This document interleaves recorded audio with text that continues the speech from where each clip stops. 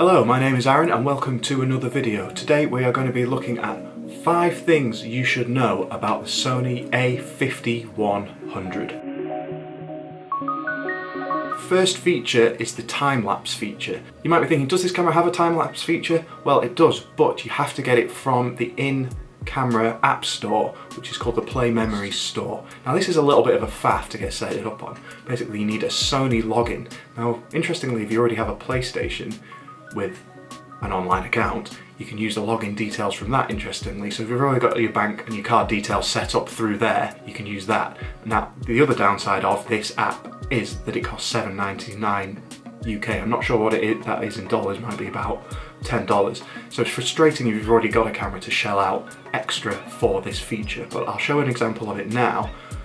I think the time lapses that you can get from this app are really worthwhile. Here's how you get to the App Store through the camera and where the app should be.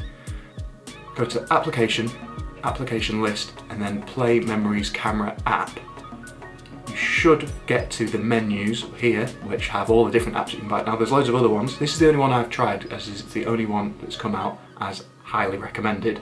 And I would say it's almost a must buy for this camera. It works so well, and to buy a timer controller is way more expensive than this. So yes, frustrating for this feature to not be built in, but it works.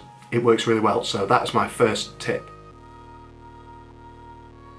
My second tip is the auto review feature. Now this is a good setting to turn on or off depending on your needs. Basically what it means is that once you take a photo, it'll you can review that photo straight away on screen. Now, I think it defaults to two seconds, which I do leave it on a lot of the time because a lot of time you want to take a photo and then look at it straight away.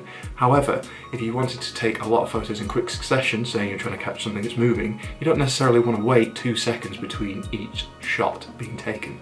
So what you can do is you can turn that feature off, or you can even bump it up to, I think 10 seconds is the other option that you can have now. If you say you want to take a photo and show it to people for 10 seconds.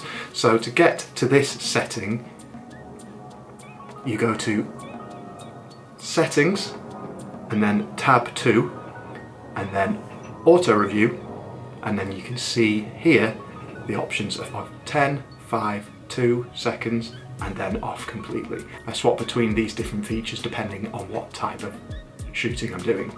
My third tip is a is a feature they call autofocus illumination. Now you may have noticed on the front of this camera there is a little light just below the Sony logo. Now this light is a red indicator LED which basically in low light situations if the autofocus is struggling to focus. Now I find this quite frustrating. It might work for some people in certain situations but generally if it's low light situation a bright red light in someone's face, especially taking a photo of someone, is just going to make them squint. It doesn't help anyone. I can see that it's not focusing very well on the screen. I don't need a light to tell me. So luckily you can turn this off. You don't have to put a sticker over the light.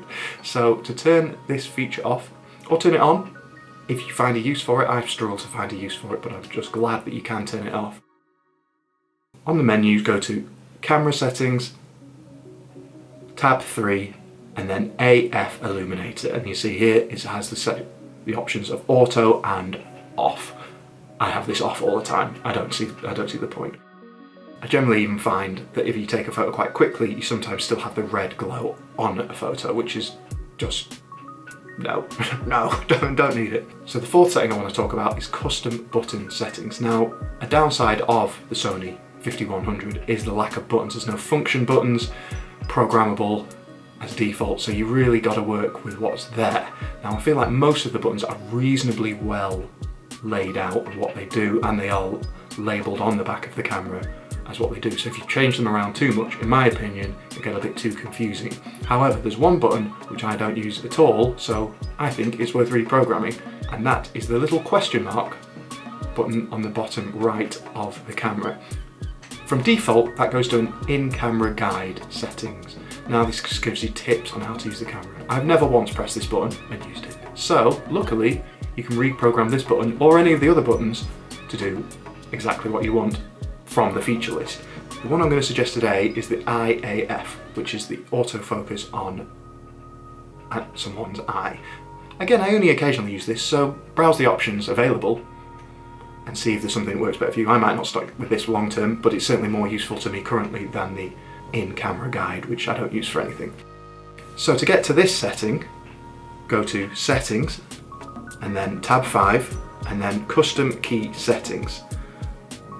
So here you can see the choices of programmable buttons and the question mark button is in there.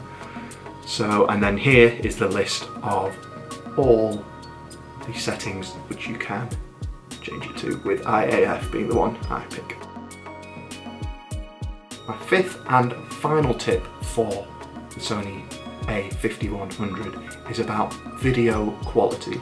Now hopefully this video you might think this isn't pretty good quality. No, now we know that this camera only does 1080p video but there are a few settings that you can change to make this as high a quality as possible. There are a few different things that you have to do to be able to turn these settings on so I'll go through those with you now. So the first thing you need is a certain type of memory card. This is called an SDXC memory card. This type of memory card means that the data can transfer from the camera to the memory card quicker, meaning that you can have a higher bit rate on your videos.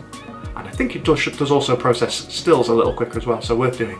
They will be more expensive and you do need to get higher capacity if possible because it'll use double the amount of data to store than the default video settings. So the setting that you need is called XAVCS. Now this is on the camera menus. So to get to this, go to Camera, then tab 2, File Format, and you'll see AXVCS. It may be greyed out if you have the wrong type of memory card in. I don't think it will even let you select it. The, the other settings are good, but if you want the absolute highest quality, this is what you need to do. And then below that, on the menu, you can see here that you can change that to the highest settings, which is 50p 50m, which is the highest quality, 50 frames per second. So these are the best possible video settings for this camera. As I said, it takes up a lot more storage on the memory card as it's twice the bit rate compared to AVC HD, which is also a great setting, especially if you've already got a memory card and can't afford or don't want to buy another one. Those settings are fine, but this is just the way to get the absolute top video settings for your vlogs, YouTube. So if you've bought this camera just for video, this is a great setting for you because it means you're getting absolute maximum for the money that you have spent. So there we go, that's five quick tips for the Sony a5100. As always, if you've enjoyed, please like the video and subscribe to the channel. I'll be back soon with more videos, but that's it from me for now. Cheers.